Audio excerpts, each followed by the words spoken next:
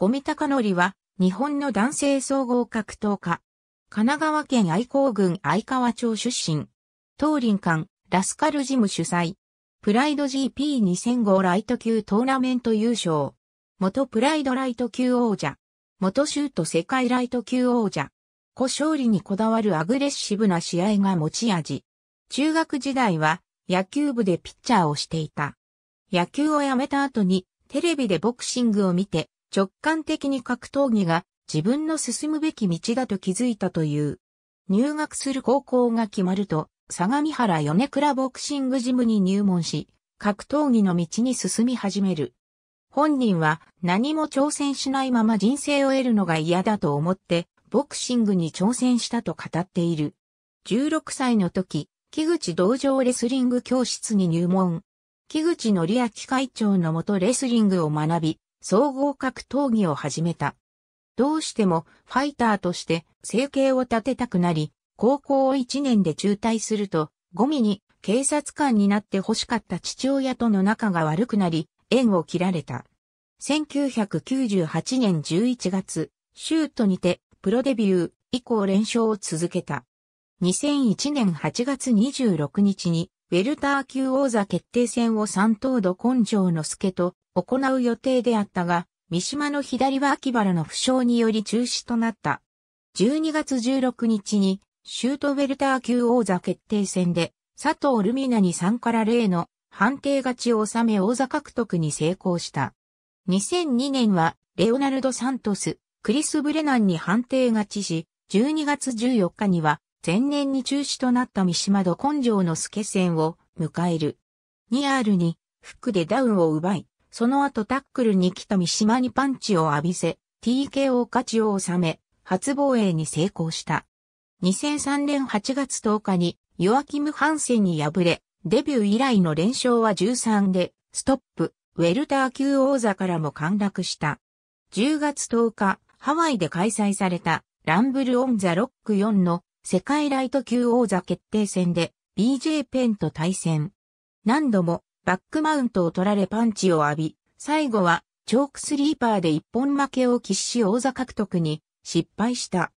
2004年2月15日、プライド初参戦となったプライド武士道、その2体でシュートボクセアカデミーのジャドソン・コスタにマウントパンチで TKO 勝ち。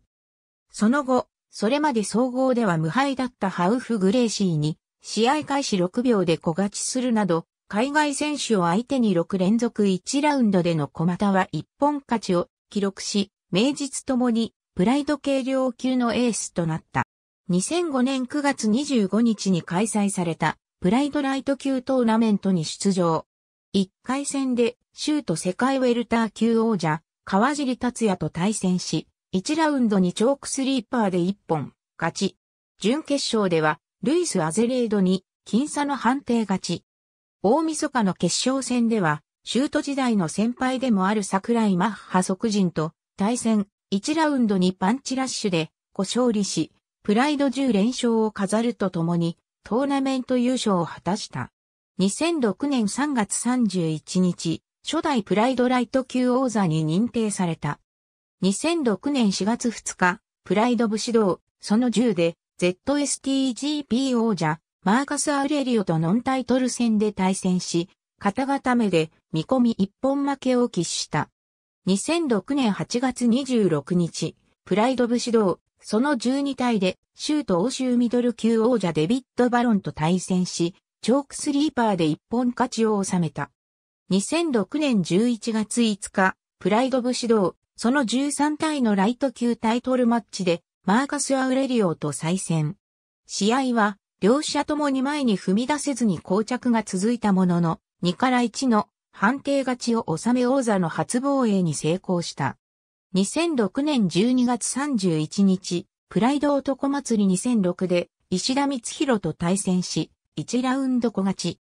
2007年2月24日、アメリカ合衆国で開催されたプライド33で試合前からジョルジュ・サンピエールら UFC 王者と戦いたいとコメントをしていたが、ゴミの希望は叶わず、ニック・ディアスと対戦。フットチョークにより一本負け。その後、ディアスの薬物使用が発覚し、ネバダ州アスレチックコミッションの決定により4月9日付で無効試合となった。3月21日、第13回全日本コンバットレスリング選手権の 73kg 級で優勝を果たした。その後は、プライドの消滅もあり、2007年は試合はすることはなかった。12月29日にラスベガスで行われた UFC79 に来場したが、最終的に参戦には至らなかった。2008年1月31日、新団体、選挙区への参戦が発表された。エースとしての扱いを受け、3月5日の旗揚げ戦、選挙区第一陣で、ドゥエイン・ラドーイックと対戦。1R に、左フックでダウンを奪い、出血によるドクターストップで TKO 勝ち。続く8月24日の戦局第4陣では、ディープライト級王者ハンスーファンに判定勝利を収めるも、11月1日の戦局第6陣では、無名のセルゲー・ゴリアエフに1から2の判定で敗れ、2年半不利の敗戦を喫した。試合後、同大会でゴミへの挑戦権をかけた、ライト級グランプリの優勝を決めた、北岡悟との対戦が2009年1月4日に行われることが決定した。2008年11月30日、全日本コンバットレスリングオープン選手権 73kg 級に出場。決勝で永田克彦と対戦し、ポイント1から0で判定勝ちを収め、優勝を果たした。2009年1月4日、戦局のラン2009の戦局ライト級チャンピオンシップで、北岡悟と対戦し、アキレス腱固めで一本負けを喫し王座獲得に失敗した。2009年5月10日、5年9ヶ月ぶりの参戦となったシュートで、世界ウェルター級王者中蔵隆と対戦し、パウンドで TKO 勝ちを収めた。試合後、リング上で帰ってきたぜ、と絶叫した。2009年8月1日に開催予定であったアフリクショントリロジーでハファエロ・オリベーラと対戦予定であったが、大会が中止となった。2009年10月30日、10年ぶりの開催となったバーレトゥードジャパン09のメインイベントでコットック世界ライト級王者トニー・ハービーと対戦し、3R までは優勢に試合を進めるも 4R から失速し、3から0の判定勝ち。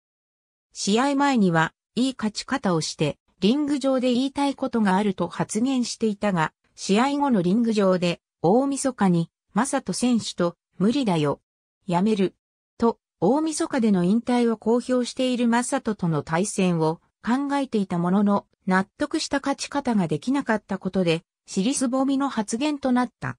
2010年1月に UFC と契約したことを発表。UFC デビュー戦となった3月31日の UFC ファイトナイト、フローリアン VS ゴミのメインイベントでは、ケニー・フロリアンにチョークスリーパーで敗れ、黒星デビューとなった。2010年8月1日、UFC ライブ、ジョーンズ VS マプチュシェンコでタイソン・グリフィンと対戦し、開始1分余りで右フックによる小勝ちを収め、UFC 初勝利を挙げるとともにノックアウトオブザ・ナイトを受賞した。試合後に、お箱の掛け登りを金網で実現するも、金網を登ったことを注意された。2011年1月1日、UFC125 で、クレイグイダと対戦し、2R 終盤にギロチンチョークで一本負けを喫した。2011年9月24日、UFC135 で、ネート・ディアスと対戦。得意なスタンドの打撃で対抗できず一方的に、打ち負け、テイクダウンで逃れようとするが腕ひしぎ十字固めで一本負けを喫した。2012年2月26日、日本で開催された UFC144 で光岡映二と対戦し、 TKO勝ち。当初はジョージ・ソテロポロスとの対戦が予定されていたが、ソテロポロスが怪我で欠場となり、対戦相手が UFC 初参戦の三岡に変更された。試合後のマイクアピールでは、火の玉が帰ってきたぜ、と叫んだ。2012年11月10日、UFC オンフューエル TV6 で、マックダンジグと対戦し、2から1の判定勝ち、ファイトオブザナイトを受賞した。2013年3月3日、日本で開催された UFC on Fuel TV8 で、ディエゴ・サンチェスと対戦。計量で、サンチェスが契約体重オーバーとなり、計量をパスできず、罰則としてサンチェスが五味にファイトマネーの20%を支払うことで試合が成立した。試合では1から2の判定負け。僅差の判定であったためこの試合はゴミの勝利と見る見解があり、会場ではサンチェス勝利となった瞬間にブーイングが起こった。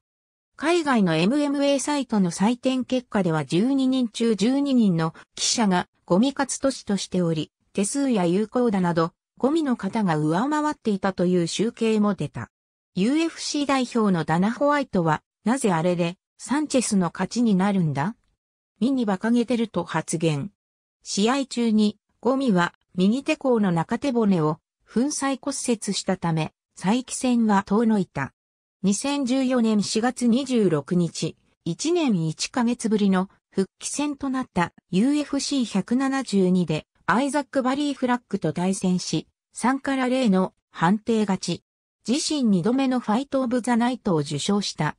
2014年9月20日、日本で開催された UFC ファイトナイト、ハント VS ネルソンにて、ライト級ランキング9位のマイルズ・ジュリーと対戦し、TKO 負け。キャリア初の KO 負けとなった。2016年7月9日、UFC200 でジム・ミラーと対戦し、TKO 負け。2017年12月31日、 RIZIN 初参戦となった RIZIN FIGHTING WORLD GRAND PRIX 2017フィナールラウンドで、八千祐介と対戦し、カウンターの右フックを効かせて、追撃のパウンドで追い詰めるが、三角締めで逆転の一本負けを喫した。2018年7月29日、リジン11でメルビン・ギラードと対戦。前日計量でギラードが契約体重を 950g オーバーとなり、計量をパスできず、ゴミは試合当日の昼過ぎまで試合をやらないつもりでいたが、最終的に了承して試合を行った。試合は打撃が得意なギラードを相手にスタンド勝負を挑み、お互いに大振りのパンチを繰り出し殴り合いを展開。ギラードのパンチを受けてぐらつき、痛めている膝が一瞬外れる場面もあったが、最後はパンチのラッシュで失神させ小勝ちを収め、真夏に判定はダメだよ。小じゃなきゃとマイクアピールで締めた。シュート時代には判定勝利も多かったゴミだが、プライド武士道においては、子、率8割を誇り、しかもそのすべてが 1R で決着するというストライカーであった。ゴミ自身、小勝利をスカ勝ちと呼び非常にこだわっており、2004年12月31日のプライド男祭り2004では勝利後にリング上で大晦日に判定ダメだよ、こうじゃなきゃ。と発言している。ありがとうございます。